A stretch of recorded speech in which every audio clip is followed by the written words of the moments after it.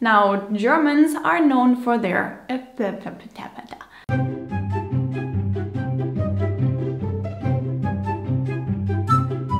Hey Rabbits, it's Trixi and in today's video I'd like to blah blah blah German language, funny German words, silly jokes, boops, yada yada yada. Hey! It's true, isn't it? No, even though my channel has a certain topic, I try very hard every time to make my videos original and fun. However, what you just said actually comes in handy for today's episode. To imply that what I said was boring, you tossed in blah blah blah and yada yada yada. This indicates that it's unnecessary for me to keep talking. You already know what's coming, so it's either uninteresting or predictable. I can also interrupt myself using the same kind of exclamation. I went to the grocery store and I bought all the ingredients for my cake. Butter, milk, eggs, yada yada yada yada. Because I'm aware that listing more things isn't relevant. Yada yada yada. You can figure out the rest yourself. Now, Germans are known for their efficiency. Therefore, it's no surprise that we have expressions like that as well. Expressions to cut ourselves off when we are getting close to mindless rambling. And that's what this episode is going to be dealing with. Usually Germans don't use yada yada yada, but there was another exclamation the hater sidekick used in the beginning of the video. Do you remember? It was blah blah blah.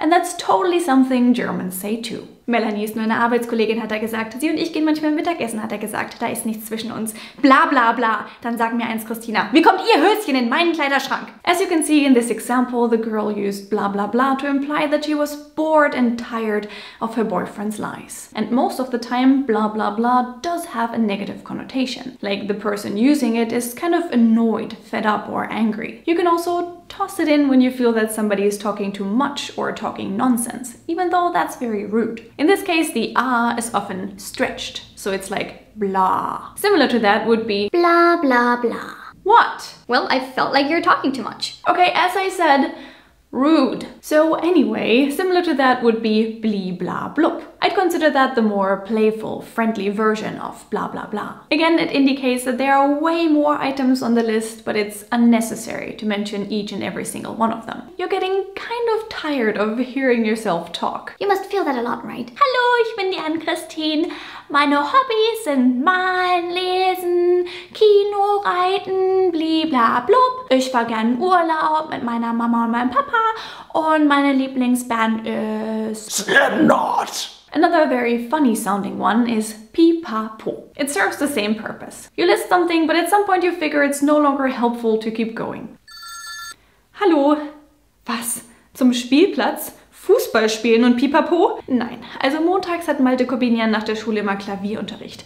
Dienstags Ausdruckstanz und mittwochs ist der Briefmarkenclub. Donnerstags Seidenmalerei und freitags ist das Flamingos-Töpfern für Fortgeschrittene. Ähm, am 24. Februar 2026 wäre noch was frei. Allerdings nur zwischen 3 und 5. Passt dir das? Hallo? Hallo?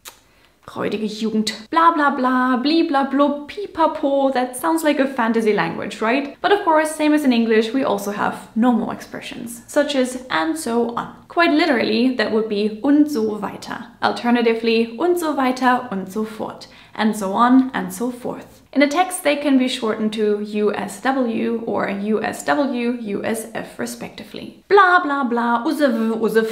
Another option is und vieles mehr.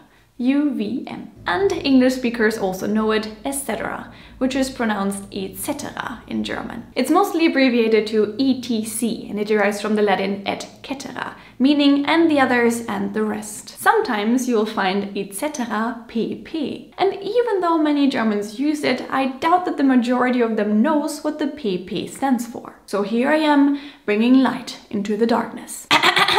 it stands for Perge Perge which means follow, follow. So, by the way, why don't you perge perge me on Instagram or Twitter? Huh? Ow. Ich möchte meinen Kopf gegen irgendetwas Hartes schlagen. Thank you, hater sidekick, for throwing in some violence here. Eh? Tja, because the two next expressions are kinda brutal as well. You wouldn't expect it, but it's true. When you don't feel like finishing a list, you can say schlag mich tot in German, literally meaning beat me to death.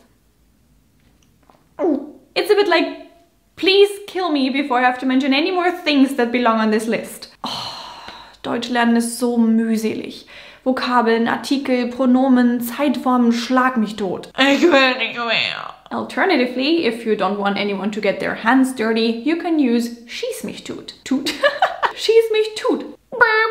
Ah, geht wieder. If you don't want anyone to get their hands duty. What is happening? Alternatively, if you don't want anyone to get their hands dirty, You can use schieß mich tot, shoot me dead. This went very dark very quickly, right? So just to be sure, this is just a phrase, okay? Don't actually follow the order when a German says these things. The last expression I have for you today is Hast du nicht gesehen? The translation is something like what you didn't see. Eddie hatte einen riesigen Koffer dabei für drei Tage Urlaub. Fünf Paar Schuhe, drei Jacken, sieben Hosen, Mützen, Schals und hast du nicht gesehen. Und was wollte sie als erstes machen? Shoppen gehen. Pants, scarves, hats and whatnot. Like all the things you've seen and not yet seen in this world. So that usually implies that a list is unnecessary and ridiculously long. Same as this video then. Alright, point taken, so this is all for today. Did you know all these German expressions? Which one did you like the most? And do you know others, be it in German or in any other language? Which one do you normally use? Or do you always mention all the items on a list? Tell me in the comments what you think and leave a like if you enjoyed this video because that would make me really, really happy. Now, as always, feel free to perge perge me on Twitter, Instagram, or Facebook. Also, here is a video you should definitely check out. Subscribe to Don't Trust the Rabbit for more videos like this one and if you want to support my channel even a bit more you can also find me on Patreon. I would really appreciate your help. I wish you all a wonderful day and I hope to see you in my next video. Bye!